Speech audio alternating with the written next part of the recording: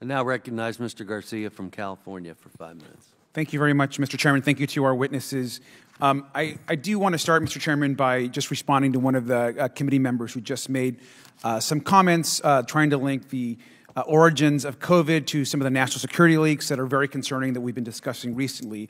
It's important to note that this committee itself cannot have credibility to discuss sensitive intelligence information if members of the majority are going to publicly defend people who continue to leak top secret information, which is in violation of their oaths of office. Uh, this member of the committee, these members of the committee have defended Jack Teixeira, who has been arrested for leaking classified information. Let's be very clear, just to clarify that, he was no whistleblower.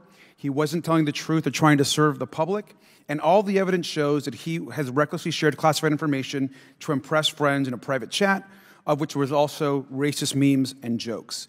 If he is found guilty, he should be held fully, fully accountable under law and anyone who defended him should be ashamed. And so, uh, again, we want to ensure that if we're going to actually talk about uh, important information, the origins of COVID, we should actually focus on, the, on COVID, on the pandemic, and not trying to link this to uh, someone who, tra- who betrayed our country.